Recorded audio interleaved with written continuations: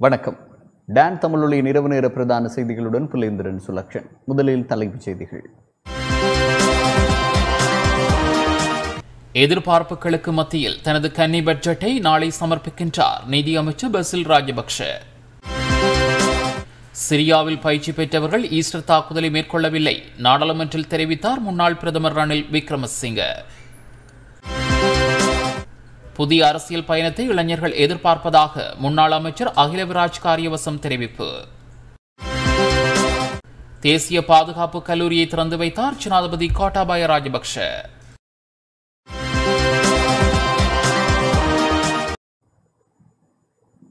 தொடர்வது முதன்மைச் செய்திகள்.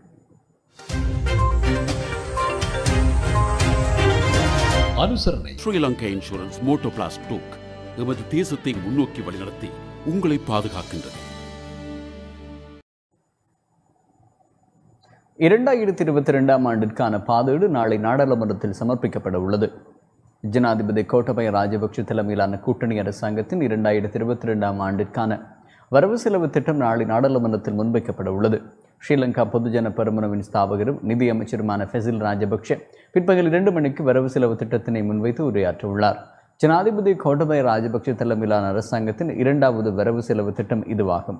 நிதியமைச்சர் பசில் ராஜபக்ஷவின் கன்னி வரவு செலவு திட்டம் இதுவாகும். சுதந்திரத்திற்கு பிறகு இலங்கையில் இதுவரையில் எழுபத்தைந்து வரவு செலவு திட்டங்கள் முன்வைக்கப்பட்டுள்ளன. நாளை முன்வைக்கப்பட உள்ள வரவு செலவு திட்டமானது எழுபத்து ஆறாவது வரவு செலவு திட்டமாகும்.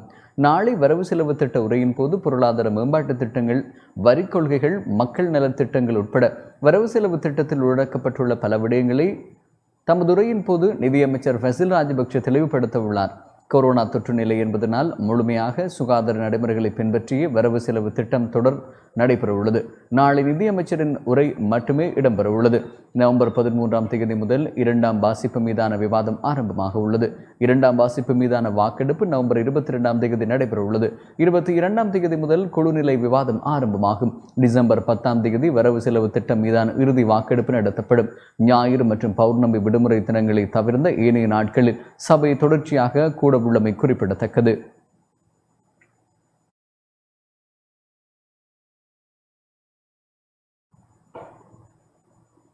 இளைஞர்கள் வயது வந்தவர்கள் மற்றும் புத்திஜீவிகள் புதிய அரசியல் பயணத்தை எதிர்பார்ப்பதாக முன்னாள் கல்வி அமைச்சர் அகிலவராஜ் காரியவசம் தெரிவித்துள்ளார்.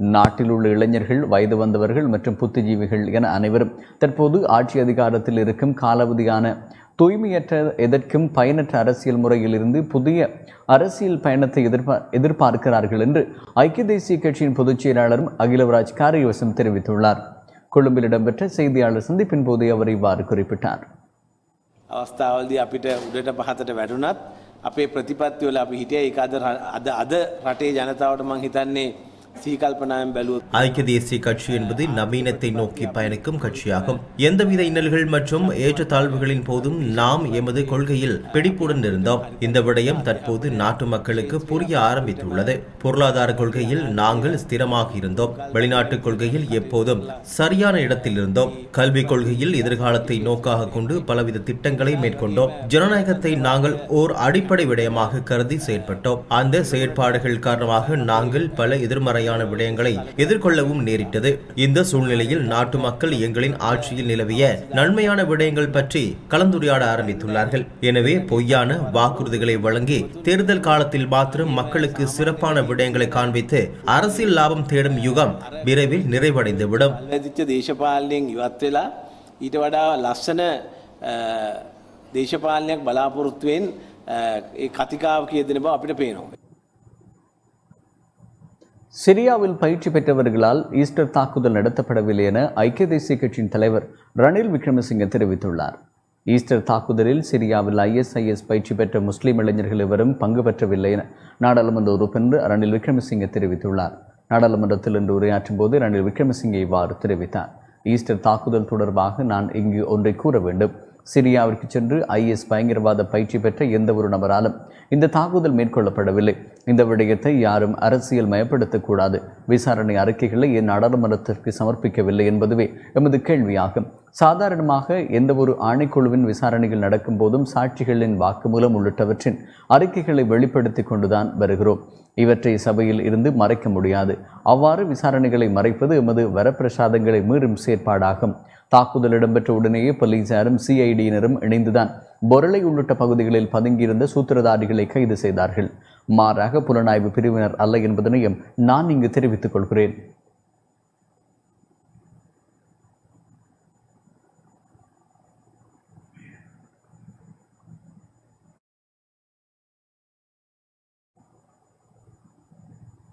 எக்ஸ்பிரஸ் பேர்ல் கப்பலின் அனர்த்தத்தினால் இன்றும் எமது கடல் பார் பாரிய பாதிப்பு ஏற்பட்டுள்ளதாக நாடாளுமன்ற உறுப்பினர் அனுருகுமார் திசநாயக்க தெரிவித்துள்ளார்.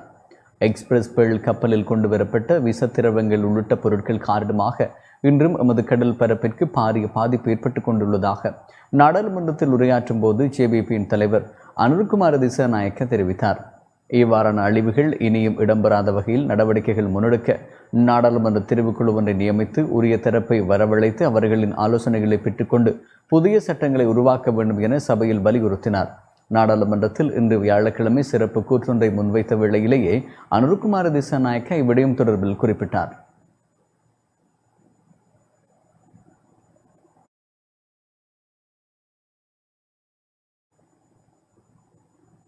தேசிய பாதுகாப்பு கல்லூரி ஜனாதிபதி கோட்டபாய ராஜபக்ஷவினால் திறந்து வைக்கப்பட்டுள்ளது. தேசிய பாதுகாப்பு கல்லூரி ஜனாதிபதி கோட்டபய ராஜபக்ஷவினால் இன்றைய தினம் திறந்து வைக்கப்பட்டது. முப்படையினர் போலீசார் மற்றும் அரசு துறையில் உயர் பதவிகளை வகிக்கும் நிறைவேற்று அதிகாரிகளுக்கு தேசிய பாதுகாப்பு மற்றும் ஒழுங்குமுறைப்படுத்தப்பட்ட கல்விக்கான வாய்ப்பை ஏற்படுத்தி கொடுக்கும் நோக்கில் ஸ்தாபிக்கப்பட்ட முதலாவதும் உயர்தரத்திலானதுமான கல்வி மற்றும் ஆராய்ச்சி நிறுவனமாக இது அமைந்துள்ளது. தேசிய தேவைகளை உறுதிப்படுத்துவதற்கான தேசிய பாதுகாப்பு ராஜாங்க முறைமை மற்றும் அரச கொள்கை பிரிவுகளின் தந்திரோபாய சிந்தனையாளர்கள் மற்றும் தலைவர்களை உருவாக்குவதே இந்த தேசிய பாதுகாப்பு கல்வியின் நோக்கமாகும்.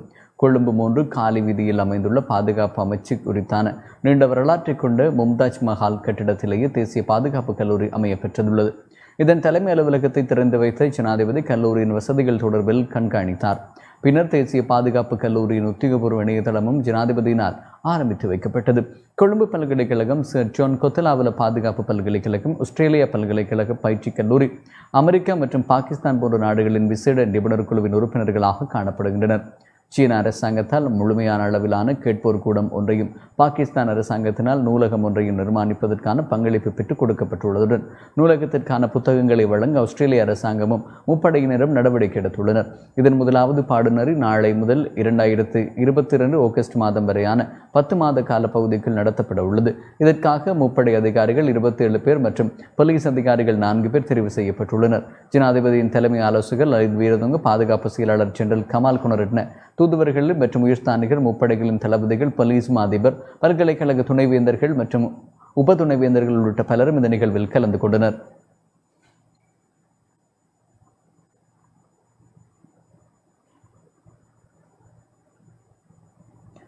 நிகழ்வில் பங்கேற்று உரையாற்றிய ஜனாதிபதி கோட்டபாய ராஜபக்ஷ. இலங்கையின் தேசிய பாதுகாப்பு கல்லூரியின் உருவாக்கம் நீண்ட கால தேவைகளில் ஒன்றாக நிறைவேற்றப்பட்டுள்ளது என குறிப்பிட்டார். இலங்கை தேசிய பாதுகாப்பு கல்லூரியை ஸ்தாபிப்பது நீண்ட கால தேவைகளில் ஒன்றாகும்.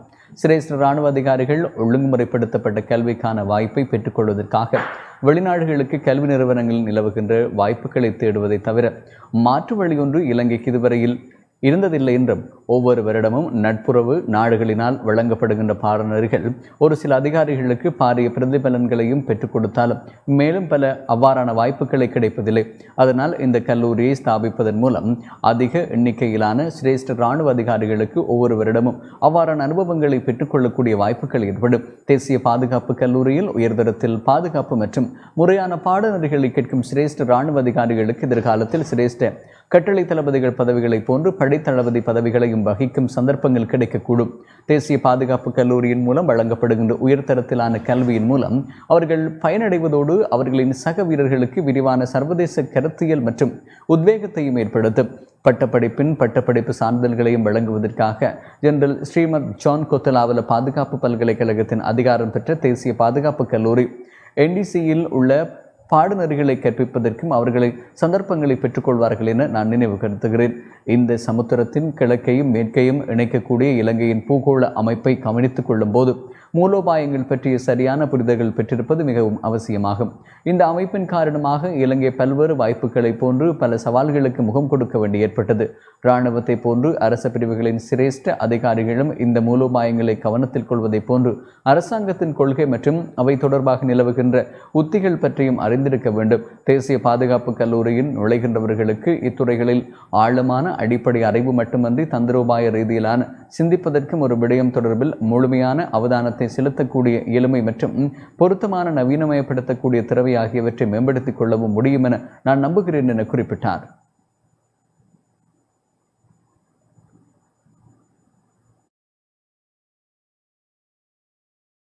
you at this institution. In concluding, I take this opportunity once again to commend the hard work and efforts of the Commandant and staff of the National Defense College, as well as all those involved in guiding the establishment of this institution. I wish you all success.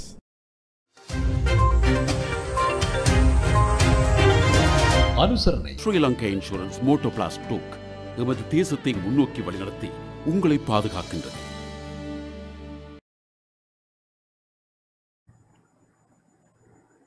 மக்களின் போராட்டத்தை எதிர்க்கட்சியின் சதி என கூறி ஜனாதிபதியினால் தப்பிக்க முடியாது என ஐக்கிய மக்கள் சக்தி தெரிவித்துள்ளது. அதிபர் ஆசிரியர்களின் சம்பளத்தை அதிகரிப்பதற்கு வரவு செலவு திட்டம் வரை காத்திருக்க வேண்டிய அவசியமில்லை. எனில் தாம் அதற்கு எந்த நேரத்திலும் ஆதரவளிக்க தயாராக உள்ளதாக ஐக்கிய மக்கள் சக்தியின் நாடாளுமன்ற உறுப்பினர் இரான் விக்ரமட்ன தெரிவித்துள்ளார். ஐக்கிய மக்கள் சக்தியின் தலைமையகத்தில் இன்று இடம்பெற்ற ஊடகவியலாளர் சந்திப்பின் போதே இவ்வாறு தெரிவித்தார். අනේ ඔය කතාවල් අපි අහලා තිනවා හැබැයි ඇත්ත කතාව ඕක නෙමෙයිනේ කරලා තියෙන්නේ பாதுகாப்பு மற்றும் கல்வித்துறைக்கு வரவு செலவு திட்டத்தில் அதிகளவு நிதி ஒதுக்கப்பட்டுள்ளதாக தெரிவிக்கப்படுகின்றது ஆனால் இந்த அரசாங்கம் கடந்த இரண்டு வருடங்களில் எந்த சம்பள அதிகரிப்பையும் மேற்கொள்ளவில்லை அவ்வாறாக அதிகரிக்கப்பட்டிருந்தால் அந்த சம்பள அதிகரிப்பை நாமே மேற்கொண்டிருந்தோம் ஆகவே இந்த வரவு செலவு திட்டத்தை நம்ப முடியுமா என்ற கேள்வி எமக்கு எழுந்துள்ளது அதுவும் அதிபர் ஆசிரியர்களுடைய சம்பள பிரச்சினைக்கு தீர்வாக அவர்களுடைய சம்பளமானது அதிகரிக்கப்படுமாயின் அதற்கு நாம் எதிர்ப்பு வெளியிடப் போவதில்லை. மாறாக நாம் எதிர்கட்சி என்ற வகையில் கைகளை உயர்த்தி அதற்கு ஆதரவையே வழங்குவோம். வரவு செலவு திட்டம் சமர்ப்பிக்கப்படும் வரை நாம் காத்திருக்க வேண்டிய அவசியமில்லை. நாட்டு மக்களை நாம் வீதிக்கு இறக்கவில்லை மாறாக நாட்டு மக்கள் அரசாங்கத்தின் மீது கோபத்தில் உள்ளனர். அரசாங்கத்தின் முகாமைத்துவ முறையில் நாட்டு மக்கள் சிக்குண்டுள்ளனர். மக்கள் கிளந்தெழும் பொழுது அதனை எதிர்கட்சி செய்யும் சதி என கூறி ஜனாதிபதியால் தப்பித்துக் கொள்ள முடியாது மாறாக ஜனாதிபதி மக்கள் கூறுவதற்கிணங்க அதனை செவிமடுத்து கொள்கைகளை மாற்றி அமைப்பதே சிறந்த வழியாகும் කිය- කියන ජනාධිපතිතුමත් මොකක්ද කිව්වනේ විපක්ෂය මේ හැමතිස්සම විරුද්ධ වෙනවා කියලා. එහෙම විරුද්ධ වෙන්නේ නැහැ. ගුරුවරුන්ට දෙනවා නම් සම්පූර්ණ පඩි වැඩි වෙන්න මෙන්න දැන් අත උස්සනවා. ඉතින් අයවැය වෙන්න එකන් ඉන්න ඕනේ නැහැ.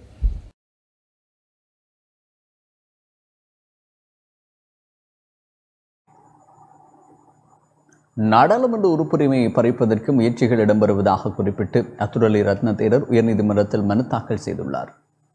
நாடாளுமன்ற உறுப்பினர் அத்துரலி ரத்னதேரர் உயர்நீதிமன்றத்தில் மனு ஒன்றை தாக்கல் செய்துள்ளார். அபய் ஜனபல கட்சி தன்னை கட்சியிலிருந்து நீக்கம் மேற்கொண்டுள்ள தீர்மானத்தையும் மற்றும் நாடாளுமன்ற உறுப்பினர் பதவியிலிருந்து நீக்கம் மேற்கொண்டுள்ள தீர்மானத்தையும் ரத்து செய்யுமாறு கோரிய அத்துரலிய ரத்னதேரர் மனு தாக்கல் செய்துள்ளார்.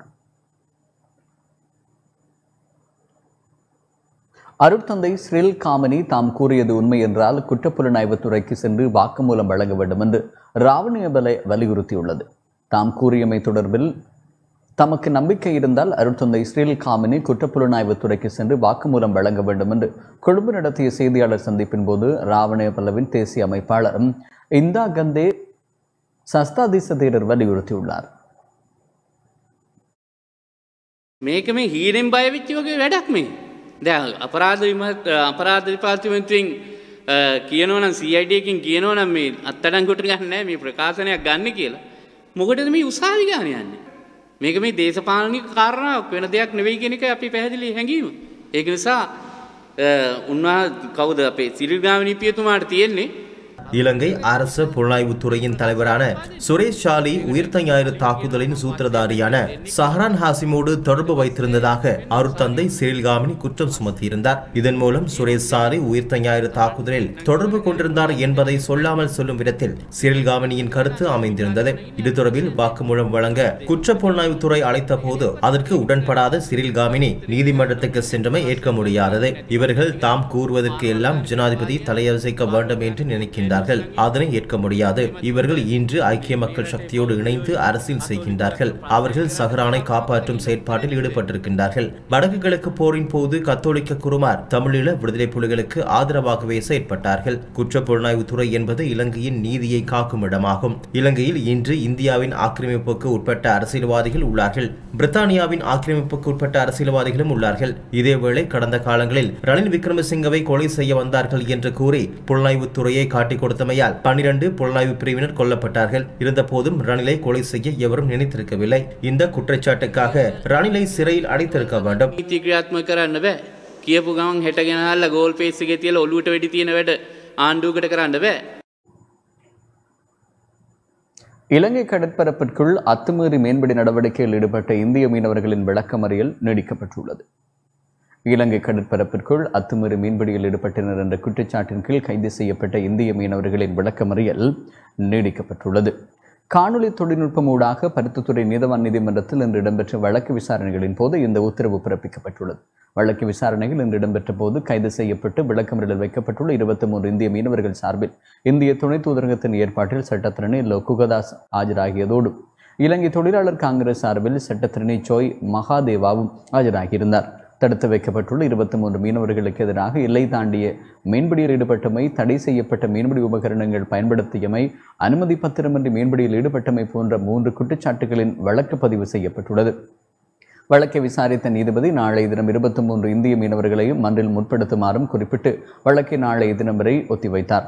வழக்கு விசாரணைகள் இடம்பெற்ற போது யாழ்ப்பாணம் இந்திய துணை தூதரக அதிகாரிகளும் மன்றிற்கு சமூகம் அளித்திருந்தமை குறிப்பிடத்தக்கது.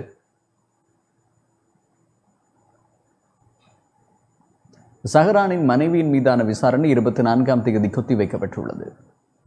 ஈஸ்டர் குண்டு தாக்குதலின் பின்னர் ஏப்ரல் இருபத்தி ஆறாம் தேதி சாய்ந்தமருது பிரதேசத்தில் நடைபெற்ற குண்டுவெடிப்பு தொடர்பான வழக்கு இன்று விசாரணைக்கு எடுத்துக் கொள்ளப்பட்டது.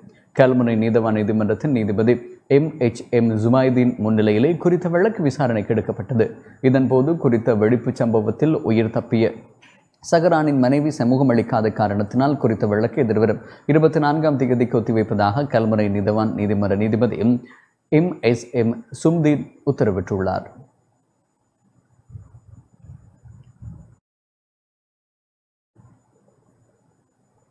அனைத்து பல்கலைக்கழக ஒன்றியத்தின் ஒருங்கிணைப்பாளர் பிணையில் விடுவிக்கப்பட்டுள்ளார். விளக்கமறியலில் வைக்கப்பட்டுள்ள அனைத்து பல்கலைக்கழக ஒன்றியத்தின் ஒழுங்கமைப்பாளர் உள்ளிட்ட ஐவரையும் பணியில் விடுவிக்க கோமாகம நீதவான் நீதிமன்றம் உத்தரவிட்டுள்ளது. தலா ஒருவருக்கு ஐந்து லட்சம் ரூபாய் வீதம் இரண்டு சரீர பணிகளில் விடுவிக்கவே உத்தரவிடப்பட்டுள்ளது. கொத்தலாவல பாதுகாப்பு பல்கலைக்கழக சட்டமூலத்திற்கு எதிர்ப்பு தெரிவித்து பொதுவ பாலத்திற்கு அண்மையில் இவர்கள் மேற்கொண்ட ஆர்ப்பாட்டத்தின் போதே கைது செய்யப்பட்டு கடுவல நீதிமன்றத்தில் முன்னிலைப்படுத்தப்பட்டனர். தொடர்ந்து நூற்றி இரண்டு நாட்கள் சிறையில் அடைக்கப்பட்டிருந்தமையும் குறிப்பிடத்தக்கது. எதிர்வரும் வார இறுதியில் கொழும்பின் பல பிரதேசங்களுக்கு இருபத்தெட்டு மணித்தியால நீர்வெட்டு அமுல்படுத்தப்பட உள்ளது. எதிர்வரும் வார இறுதியில் கொழும்பின் பல பிரதேசங்களுக்கு இருபத்தெட்டு மணித்தியால நீர்வெட்டு அமுல்படுத்தப்பட உள்ளதாக தேசிய நீர்வளங்கள் மற்றும் வடிகால் அமைப்பு சபை தெரிவித்துள்ளது. அதன்படி நவம்பர் மாதத்தின் பதிமூன்றாம் தேதி சனிக்கிழமை இரவு எட்டு மணி தொடக்கம் நவம்பர் மாதம் பதினான்காம் தேதி நள்ளிரவு பன்னிரண்டு மணி வரை நீர்வெட்டு அமுல்படுத்தப்பட்டுள்ளது.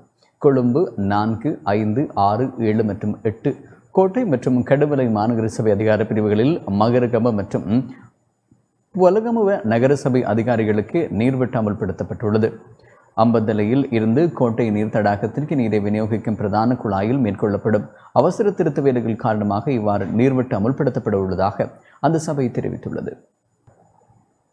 சிவப்பு எச்சரிக்கை விடுக்கப்பட்டுள்ள பகுதிகளில் உள்ள பாடசாலைகளை மறு அறிவித்தல் வரை மூட தீர்மானிக்கப்பட்டுள்ளது.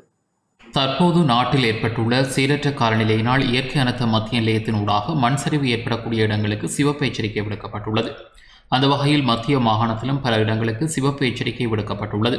இதனை மையப்படுத்தி மாணவர்களின் பாதுகாப்பு நலன் கருதி தோட்ட வீடமைப்பு மற்றும் உட்கட்டமைப்பு வசதிகள் ராஜாங்க அமைச்சர் ஜீவன் தொண்டமான் மத்திய மாகாண ஆளுநரிடம் அவசர கலந்துரையாடல் ஒன்றை மேற்கொண்டார்.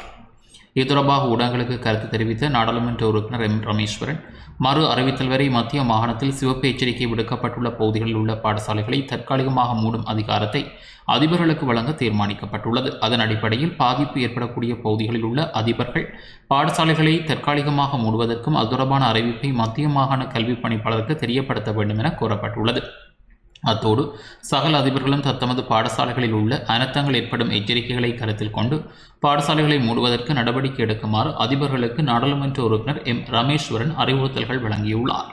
கொழும்பு கண்டி பிரதான வீதியை மறு அறிவித்தல் பிறப்பிக்கப்படும் வரை மூடுவதற்கு தீர்மானிக்கப்பட்டுள்ளதாக கேகாலை மாவட்ட செயலாளர் மஹிந்த வீரசூரிய தெரிவிக்கின்றார். பகல கடுகண்ணாவ பகுதியில் ஏற்பட்டுள்ள மண்சரிவு அபாயம் காரணமாகவே இந்த தீர்மானத்தை எட்டியுள்ளதாக அவர் குறிப்பிட்டார். நேற்றிரவு பத்து மணி முதல் குறித்த வீதியுடனான போக்குவரத்தை தடை செய்ய தீர்மானிக்கப்பட்ட நிலையில் இன்று பிற்பகல் ஒரு மணியுடன் வீதியை திறக்க இன்று காலை தீர்மானிக்கப்பட்டிருந்தது.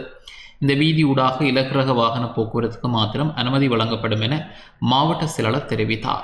எனினும் குறித்த பகுதியில் தற்போது கடும் மழையுடனான வானிலை நிலவி வருகின்றமையினால் பகல கடுகண்ணா வீதியை மீண்டும் மூடுவதற்கு தீர்மானம் எட்டப்பட்டதாக அவர் குறிப்பிட்டார். இந்த வீதியை மீள திறப்பது தொடர்பிலான கலந்துரையாடல் நாளை முற்பகல் ஒன்பது மணிக்கு இடம்பெறும் என அவர் தெரிவித்தார். பகல கடுகண்ணாவ ஊடாக கொழும்பு கண்டி பிரதான வீதியை பயன்படுத்தும் சாரதிகள் மாற்று வீதியை பயன்படுத்துமாறு கேகாலை மாவட்ட செயலாளர் மஹிந்த வீரசூரிய கேட்டுக்கொண்டுள்ளார். மலையகத்தில் காலநிலை சீர்கேட்டின் காரணமாக பெய்து வரும் தொடர் மழையினால் மேல்கொத்மலை நீர்த்தேக்க பகுதியின் நீர்மட்டம் உயர்வடைந்ததால் தொடர்ந்தும் இன்றைய தினமும் வான்கதவு ஒன்று திறக்கப்பட்டது. இதனால் அணைக்கட்டுக்கு கீழ்ப்பகுதியில் ஆற்றை பயன்படுத்துபவர்கள் அவதானத்துடன் செயற்பட வேண்டும் என அதிகாரிகள் அறிவுறுத்தியுள்ளனர். அத்தோடு மேல்கொத்மலை நீர்த்தக்கத்தின் வான்கதவு திறந்துவிடப்பட்டதன் காரணமாக சென்கிளாயர் நீர்வீழ்ச்சியின் நீர்மட்டமும் அதிகரித்துள்ளமை குறிப்பிடத்தக்கது. திருவோணமலை மாவட்டத்தில் பெய்து வரும் கனமழை காரணமாக கந்தலாய் குளத்தின் மேலதிக நீரை வெளியேற்றுவதற்காக நான்கு வான்கதவுகள் அரை அடிக்கு என்று திறந்துவிடப்பட்டுள்ளதாக கந்தலாய் நீர்ப்பாசன பொறியாளர் தெரிவித்துள்ளார். கந்தலாய் குளத்தின் நீரினை பயன்படுத்தி பதினான்காயிரத்து அறுநூறு ஏக்கரில் வேளாண்மை செய்கைகள் மேற்கொள்ளப்பட்டுள்ளன.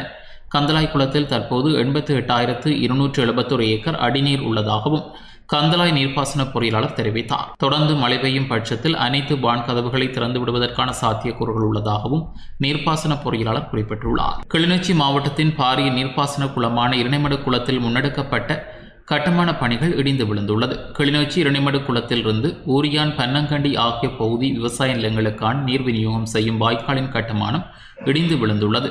கடந்த இரண்டாயிரத்து பதினைந்தாம் ஆண்டு கிளிநொச்சி இரணிமடு குளத்தின் கீழ் அமைக்கப்பட்ட கட்டுமானமே இவ்வாறு இடிந்து விழுந்துள்ளது.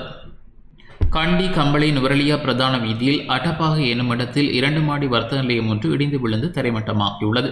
அப்போது நிலம் தாளரங்கும் அபாயம் இருப்பதால் ஒரு வழி போக்குவரத்துக்கு மாத்திரம் தற்போது அனுமதி வழங்கப்பட்டுள்ளது. கம்பளை நகரிலிருந்து சுமார் ஐந்து கிலோமீட்டர் தொலைவில் அட்டப்பாகை அமைந்துள்ளது. நாட்டில் தற்போது நிலவும் சீரற்ற காலநிலையால் நேற்றிரவு மேற்படி வர்த்தக நிலையம் முற்றாக சரிந்து விழுந்துள்ளது. பொருட்கள் அனைத்தும் மண்ணுக்குள் புதையுண்டுள்ளன. வர்த்தக நிலையத்தில் இருந்த தாய் தந்தை மற்றும் மகன் ஆகியோர் வர்த்தக நிலையத்தை மூடிவிட்டு உறவினர்கள் வீட்டுக்கு செல்வதற்கு வெளியே வந்த தருணத்திலேயே இவ்வனத்தம் இடம்பெற்றுள்ளது. இதனால் மூவரும் தெய்வாதீனமாக உயிர் தப்பியுள்ளனர். யாழ்ப்பாணம் பருத்தித்துறை பிரதேசலர் பிரிவுக்குட்பட்ட தும்பளை கிழக்கு பகுதியில் வெள்ளம் தேங்கியுள்ளதால் பல குடும்பங்கள் பாதிக்கப்பட்டுள்ளன. பருத்தித்துறை நகர சபையால் அமைத்துக் கொடுக்கப்பட்ட வீதியின் காரணமாகவே கிராமத்தில் வெள்ளநீர் தேங்கும் நிலை ஏற்பட்டுள்ளதாக பாதிக்கப்பட்ட மக்கள் கவலை தெரிவித்துள்ளனர். வீதியை புறமைக்கும் போது நீர் வழிந்தோடக்கூடிய வகையில் வடிகால் அமைப்புகள் ஏற்படுத்தவில்லை என்றும் வீதி அமைத்த பின்னரே தமது வீடுகளுக்குள் இவ்வாறு மழைநீர் தேங்குவதாகவும் மக்கள் சுட்டிக்காட்டுகின்றனர். நகர சபைக்கு பலமுறை இவ்விடயம் தொடர்பில் தகவல் அளித்தும் எதுவித நடவடிக்கையும் எடுக்கப்படவில்லை என்றும். எனவே சம்பந்தப்பட்டவர்கள் இவ்விடயம் தொடர்பில் கவனம் செலுத்துமாறும் பாதிக்கப்பட்ட மக்கள் கோரிக்கை விடுத்துள்ளனர். அவங்களுக்கு இதான் நிலமா. வாய்க்கால் அனுப்ப சொன்னால் ஜூசி வரும் வரும்னு சொல்லும் ஜூசி வந்து ஒரு நடவடிக்கையுமே எடுக்கிறே இல்லை போன வருஷம் வந்து எல்லா சேர்மன் எல்லாரும் வந்து பார்த்துட்டு இந்த வருஷம் உங்களுக்கு செய்தாருன்னு இந்த வருஷம் இவ்வளோ நாளைக்கும் அடித்து இந்த மழை பெஞ்சு மூன்று நாலு நாளாச்சும் வந்து சொல்லி சொல்ல இது வரைக்கும் வந்து ஏனென்று குடியாட்டி பார்க்கலாம் ஒரு இந்த கூட வெள்ளத்தோட இந்த புள்ள குட்டியோட வீட்டு வீட்டுக்குள்ளே பாருங்க நவளத்துக்கு தண்ணி நிற்குது வெளியால் ஊறி இருக்கு உங்களை தெரியும். அவ்வளோத்துக்கு கூட ரெண்டு பேரும் தட்டி பார்க்கல? யாழ்ப்பாணம் வசந்தபுரம் பகுதியில் தேங்கியிருந்த வெள்ள நீரினை கடலுக்கு அனுப்பும் நடவடிக்கை இன்று முன்னெடுக்கப்பட்டது. சீரற்ற காலநிலையால் யாழ் மாவட்டத்தின் பல பகுதிகளிலும் தேங்கியுள்ள வெள்ள நீரினை அகற்றும் நடவடிக்கைகள் தொடர்ச்சியாக முன்னெடுக்கப்பட்டு வருகின்றன.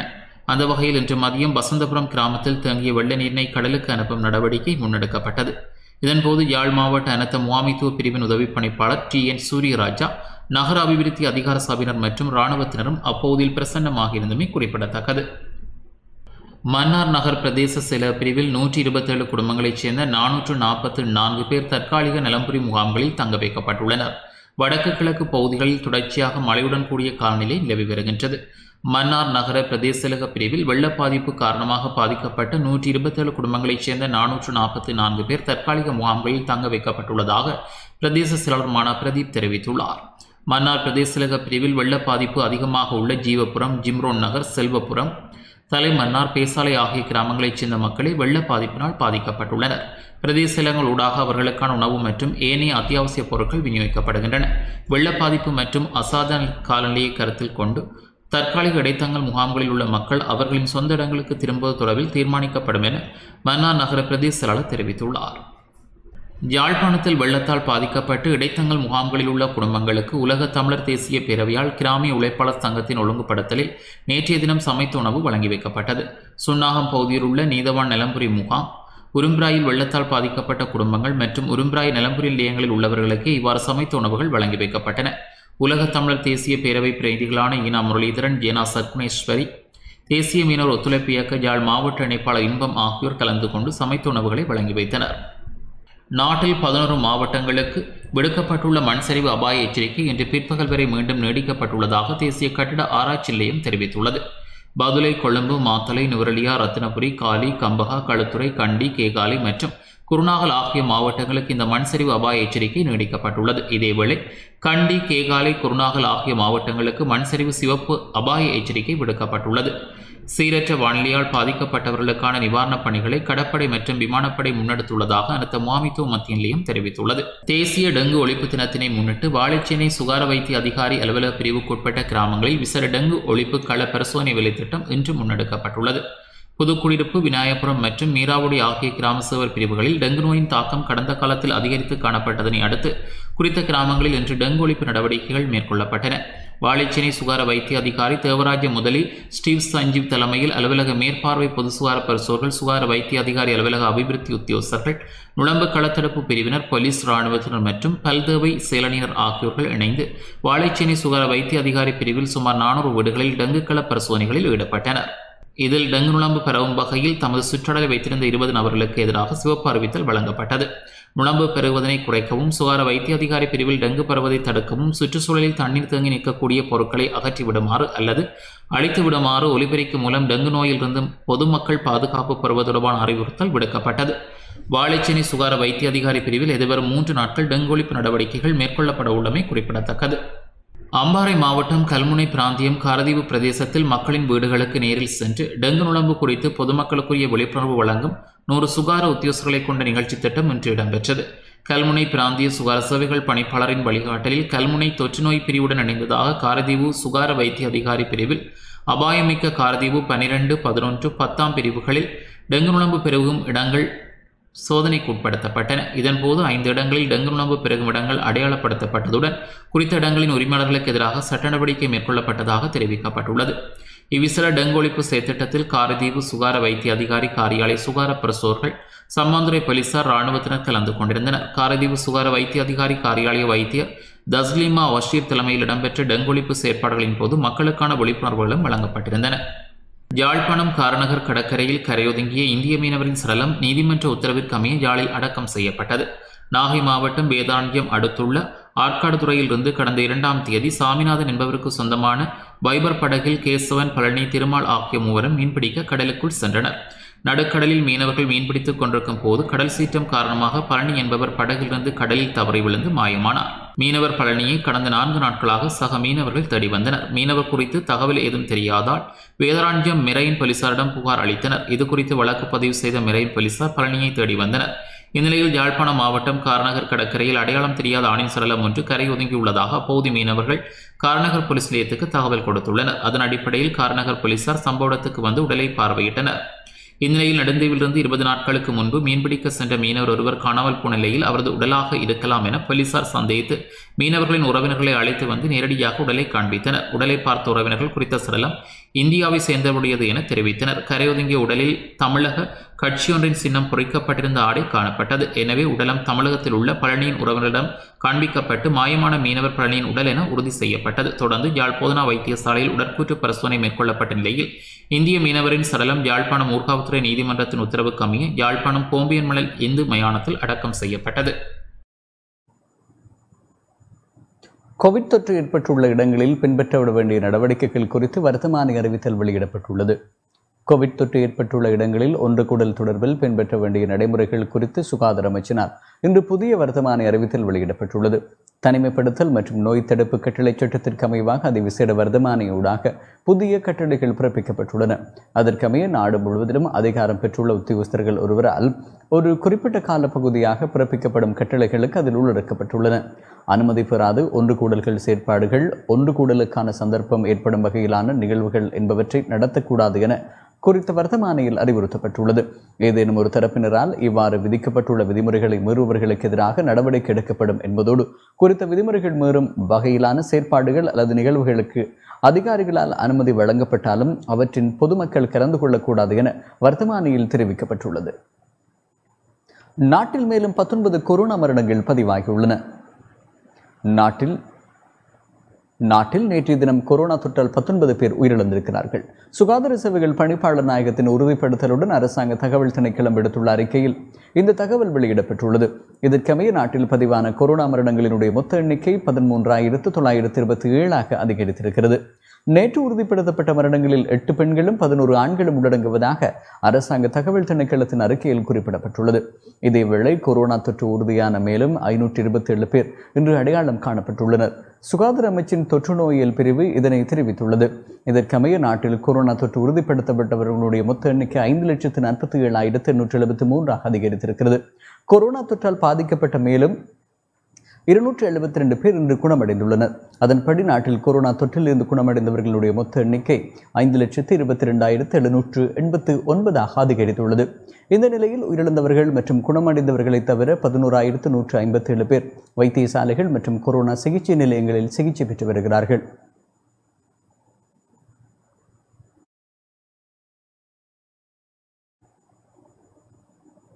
தமிழ் தேசிய கூட்டமைப்பின் நாடாளுமன்ற உறுப்பினர் சார்ல்ஸ் நிர்மலநாதனுக்கு கோவிட் தொற்று உறுதி செய்யப்பட்டுள்ளது. தமிழ் தேசிய கூட்டமைப்பின் வன்னி மாவட்ட நாடாளுமன்ற உறுப்பினர் சார்ல்ஸ் நிர்மலநாதனுக்கு கோவிட் தொற்று உறுதி செய்யப்பட்டுள்ளது. தற்போது அவர் கொழும்பில் உள்ள தனியார் வைத்தியசாலை ஒன்றில் சிகிச்சை பெற்று வருவதாக தெரிவிக்கப்பட்டுள்ளது. கடந்த எட்டாம் தேதி இடம்பெற்ற நாடாளுமன்ற அமர்வுகளில் அவர் கலந்து கொண்டிருந்தமை சுட்டிக்காட்டத்தக்கது. கொரோனா தொற்றாளர்களின் எண்ணிக்கை தொடர்ந்தும் அதிகரித்தால் நாட்டை மீண்டும் முடக்குமாறு பரிந்துரை செய்வதை தவிர சுகாதாரத்துறைக்கு வேறு வழியில்லை என பிரதி சுகார சபைகள் பணிப்பாளர் நாயகம் விசர வைத்திய நிபுணர் ஹேமந்த் ஹேர தெரிவித்துள்ளார். சுகாதார அமைச்சில் இடம்பெற்ற ஊடகவியலாளர் சந்திப்பில் அவர் இவ்வாறு குறிப்பிட்டுள்ளார். தற்போது ஏற்பட்டுள்ள வெள்ளப்பெருக்கு மற்றும் பொதுமக்களின் போராட்டங்களால் கொரோனா தொற்றால் பாதிக்கப்பட்டோரின் எண்ணிக்கை மேலும் அதிகரிக்கும் என அவர் தெரிவித்தார். தற்போது சுகாதார வழிகாட்டுதல்கள் சரியான முறையில் பின்பற்றப்படவில்லை எனவும் கொரோனா தொற்றால் பாதிக்கப்பட்ட ஒரு நோயாளியால் ஒரே நாளில் அதிகளவானோருக்கு கொரோனா தொற்று பரவக்கூடிய வாய்ப்புள்ளதாகவும் அவர் குறிப்பிட்டுள்ளார். முல்லைத்தீவு மோட்டார் வாகன போக்குவரத்து திணைக்கள அலுவலகத்தின் உறுப்பினருக்கு கோவிட் நைன்டீன் தொற்று ஏற்பட்டுள்ளதால் மறு அறிவித்தல் வரை அலுவலகத்தின் நடவடிக்கைகள் அனைத்தும் தற்காலிகமாக இடைநிறுத்தப்பட்டுள்ளதாக மாவட்ட அரசாங்க அதிபர் கானா விமலநாதன் அறிவித்துள்ளார். தற்காலிகமாக இடைநிறுத்தப்பட்டுள்ள அலுவலக நடவடிக்கைகள் மீள ஆரம்பிக்கும் திகதி பின்னர் அறிவிக்கப்படும் எனவும் இதனால் ஏற்பட்டுள்ள அசௌகரியங்களுக்கு மனம் மருந்துவதாகவும் மாவட்ட செயலாளர் தெரிவித்துள்ளார். பதுலை கல்துமுல்லை ஹொஸ்லாந்தி ஆரம்ப பாடசாலையின் அதிபருக்கு கொரோனா வைரஸ் தொற்று உறுதிப்படுத்தப்பட்டுள்ளதாகவும் இதனை அடுத்து குறித்த பாடசாலையை மூன்று தினங்களுக்கு மூடுவதற்கு நடவடிக்கை எடுத்துள்ளதாகவும் பண்டாரவளை வலய கல்வி பணிப்பாளர் ஆர் எம் ஆரியதாச தெரிவித்துள்ளார். கொரோனா தொற்றுக்கான அறிகுறிகள் காணப்பட்டதால் அதிபருக்கு மேற்கொள்ளப்பட்ட ஆன்டிஜன் பரிசோதனையிலேயே அவருக்கு கொரோனா வைரஸ் தொற்று உறுதிப்படுத்தப்பட்டுள்ளது. அதிபருடன் நெருங்கிய தொடர்பை பணிய பன்னிரண்டு பேர் தனிமைப்படுத்தப்பட்டுள்ளனர். குறித்த பாடசாலையில் முன்னூற்று பதிமூன்று மாணவர்கள் கல்வி கற்று வருகின்றனர். இதேவேளை மாத்தரை கக்மன உதுபிலகொட மிளகேன பிரதேசத்தில் உள்ள வீடொன்றில் நடைபெற்ற விருந்துபசார நிகழ்வில் பங்கேற்ற பதினேழு பேருக்கு கொரோனா வைரஸ் தொற்று உறுதிப்படுத்தப்பட்டுள்ளதாக கக்மென பொது சுகார காரியாலயம் அறிவித்துள்ளது. இவ்வாறு தொற்றுக்குள்ளானவர்களில் பதினாறு வயதுக்கு குறைந்த எட்டு சிறுவர்கள் உள்ளடங்குகின்றனர். தொற்றுக்குள்ளானவர்கள் தனிமைப்படுத்தல் சிகிச்சை நிலையங்களுக்கு அனுப்பி வைக்கப்பட்டுள்ளனர். தொற்றாளருடன் தொடர்பை பணியவர்கள் தனிமைப்படுத்தப்பட்டுள்ளனர். நாட்டில் இதுவரை எழுபத்தி எட்டாயிரத்து அறுநூற்று எழுபத்தேழு பேருக்கு கோவிட் தடுப்பூசியின் பூஸ்டர் டோஸ் போடப்பட்டுள்ளதாக சுகாதார அமைச்சின் தொற்று நோயல் பிரிவு குறிப்பிட்டுள்ளது. அறிக்கை ஒன்றை வெளியிட்டு தொற்று நோயல் பிரிவு இதனை குறிப்பிட்டுள்ளது. நாட்டில் இதுவரை ஒரு கோடியே ஐம்பத்தெட்டு லட்சத்து இருபத்தி ஐயாயிரத்து இருநூற்று நாற்பத்தி ரெண்டு பேருக்கு கோவிட் தடுப்பூசியின் முதலாவது டோஸும் ஒரு கோடியே முப்பத்தைந்து லட்சத்து தொன்னூற்றி ஆறாயிரத்து ஐநூற்று ஒன்பது பேருக்கு கோவிட் தடுப்பூசியின் இரண்டாவது டோஸும் போடப்பட்டுள்ளதாக அறிக்கையில் குறிப்பிடப்பட்டுள்ளது. கீதாஞ்சலி அமரசூரிய விசாகா நூற்றாண்டு நினைவு நூலகம் பிரதமர் மஹிந்த ராஜபக்ஷவினால் திறந்து வைக்கப்பட்டது. நவீன தொழில்நுட்ப வசதிகளுடன் கூடிய நான்கு மாடிகளை கொண்ட கீதாஞ்சலி அமரசூரிய விசாகா நூற்றாண்டு நினைவு நூலகம் பிரதமர் மஹிந்த ராஜபக்ஷவினால் இன்று திறந்து வைக்கப்பட்டது. விசாகா கல்லூரியின் பாடசாலை அபிவிருத்தி சங்கம் மற்றும் கல்வி அமைச்சு இணைந்து தொன்னூற்று ஆறு தசம் ஐந்து மில்லியன் ரூபாய் நிதி பங்களிப்புடன் இந்த நூலகம் நிர்மாணிக்கப்பட்டுள்ளது. விசாகா கல்லூரியின் அதிபர் சந்தமாலி அபிப்ரோல உள்ளிட்ட கல்லூரி மாணவிகள் திறப்பு விழாவில் கலந்து கொண்டு பிரதமர் மஹிந்த ராஜபக்ஷ உள்ளிட்ட சிறப்பு விருந்தினர்களை வரவேற்றனர். அதனைத் தொடர்ந்து நூலக திறப்பு விழாவை குறிக்கும் வகையில் பிரதமரினால் நினைவு பலகை திறந்து வைக்கப்பட்டது. நூலகத்தை திறந்து வைத்து முதலாவது மாடிக்கு சென்ற பிரதமர் நூலக செயற்பாடுகளை ஆரம்பித்து வைத்து விசாகா மாணவி ஒருவருக்கு புத்தகம் ஒன்றை வழங்கி வைத்தார். விஷாகா கல்லூரியின் அதிபரினால் இதன்போது பிரதமருக்கு நினைவு பரிசு ஒன்று வழங்கப்பட்டது. ஆயிரத்தி தொள்ளாயிரத்தி அறுபத்தி ஏழாம் ஆண்டு ஆகஸ்ட் மாதம் இருபதாம் தேதி திறக்கப்பட்ட கேதாஞ்சலி அமரசூரிய நினைவு நூலகமானது. தற்போது பதினைந்தாயிரம் சதுர அடி பரப்பளவை கொண்ட நிலப்பரப்பில் நான்கு மாடி கட்டிடங்களை கொண்டதாக அமைக்கப்பட்டுள்ளது. கோவிட் தொற்று நோய்க்கு மத்தியில் பல்வேறு சிரமங்களை கடந்து பாடசாலை அபிவிருத்தி சங்கம் மற்றும் கல்வி அமைச்சு இணைந்து இப்புதிய நூலகத்தை விசாகா மாணவிகளுக்கு பெற்றுக் கொடுப்பதற்கு அர்ப்பணிப்புடன் செயற்பட்டுள்ளது. குறித்த நிகழ்வில் வெளிவிவகார அமைச்சர் பேராசிரியர் ஜி எல். பேரிஸ் தேசிய பாடசாலை பணிப்பாளர் கிட்ஸ்ரீ லியனகமகே விசாகா கல்லூரியின் அதிபர் சந்தமாலி அவை போல. விசாகா கல்லூரியின் துணை அதிபர்கள் உள்ளிட்ட ஆசிரியர்கள் மற்றும் கல்லூரி மாணவிகள் பெற்றோர்கள் மற்றும் பாடசாலை அபிவிருத்தி சங்க அதிகாரிகள் என பலர் கலந்து கொண்டனர்.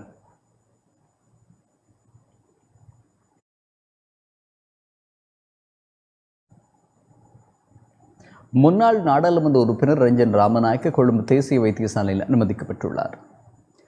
அங்குணபலபெச சிறைச்சாலையில் தடுத்து வைக்கப்பட்டிருந்த முன்னாள் நாடாளுமன்ற உறுப்பினர் ரஞ்சன் ராமநாயக்க கொழும்பு தேசிய வைத்தியசாலையில் அனுமதிக்கப்பட்டுள்ளதாக சிறைச்சாலைகள் திணைக்களம் தெரிவித்துள்ளது. முழங்காலில் ஏற்பட்ட காயம் காரணமாக அவர் நேற்று காராப்பட்டிய பொது வைத்தியசாலைக்கு அனுமதிக்கப்பட்டதாக சிறைச்சாலைகள் பேச்சாளர் சந்தன ஏகநாயக்க தெரிவித்துள்ளார். குறித்த வைத்தியசாலையின் வைத்தியர்கள் ராமநாயக்காவை கொழும்பு தேசிய வைத்தியசாலையின் எலும்பியல் பிரிவில் அனுமதிக்குமாறு பணித்துள்ளனர். இந்த நிலையில் அவர் இன்று கொழும்பு தேசிய வைத்தியசாலையில் அனுமதிக்கப்பட்டுள்ளதாக தெரிவிக்கப்படுகிறது. எவ்வாறாயினும் அவர் இன்று வைத்தியசாலையில் இருந்து வெளியேறுவார் என்றும் எதிர்வரும் நவம்பர் மாதம் பதினாறாம் தேதி மீண்டும் வைத்தியசாலையில் அனுமதிக்கப்படுவார் என்றும் கூறப்படுகிறது.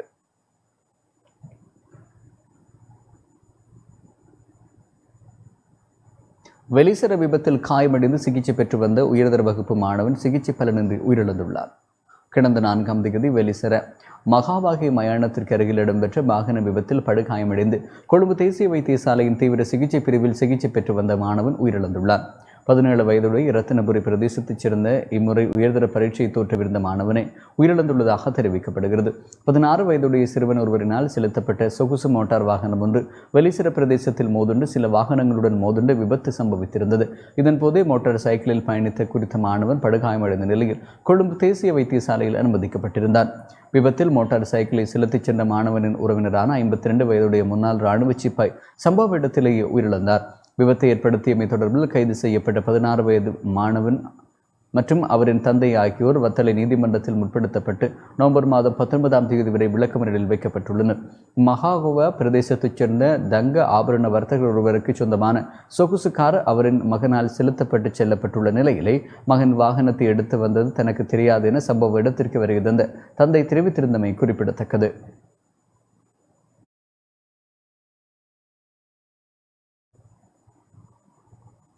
வடக்கு மாகாண பாடசாலைகளில் நாளைய தினம் ஐந்து நிமிட அஞ்சலியை நடத்துமாறு இலங்கை ஆசிரியர் சேவை சங்கம் அழைப்பு விடுத்துள்ளது.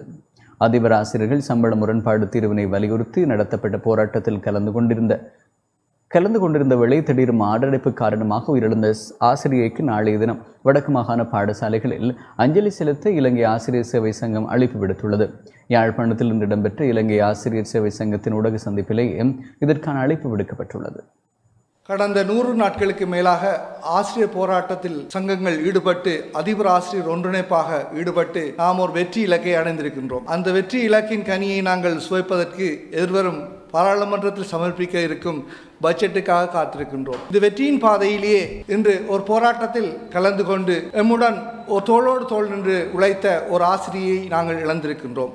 அந்த ஆசிரியையை நாங்கள் இன்று அவர்களுக்கு கண்ணீரஞ்சலி செலுத்தும் முகமாக நாளை வடமாகாணத்தில் இருக்கின்ற ஒவ்வொரு பாடசாலைகளிலும் காலையில் திரு அவர்களுடைய அசம்பிளியில் ஐந்து நிமிட மௌன அஞ்சலியும் அஞ்சலி வணக்கத்தையும் செலுத்தி பாடசாலைகளின் வெளியே வெள்ளை கொடியை பறக்கவிட்டு அந்த ஆசிரியைக்கு நாங்கள் எமது கண்ணீர் அஞ்சலியை செலுத்தவிருக்கின்றோம். ஏனெனில் அதனால் வடமாகாண அதிபர் ஆசிரியர்களை இலங்கை ஆசிரியர் சேவை சங்கமாகிய நாங்கள் கேட்டுக்கொள்வது இச்செயற்பாட்டிற்கு நாளை முழு மனதுடன் ஒத்துழைப்பு வழங்குமாறு கேட்டுக்கொள்கின்றோம்.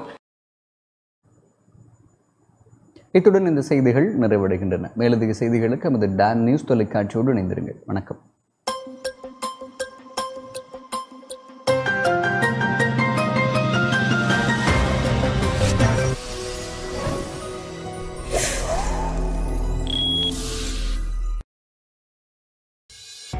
டான் தமிழொலியின் புத்தம் புதிய நிகழ்ச்சிகளை உடனுக்குடன் பார்த்து மகிழ எமது யூடியூப் பக்கத்தை சப்ஸ்கிரைப் செய்யுங்கள்.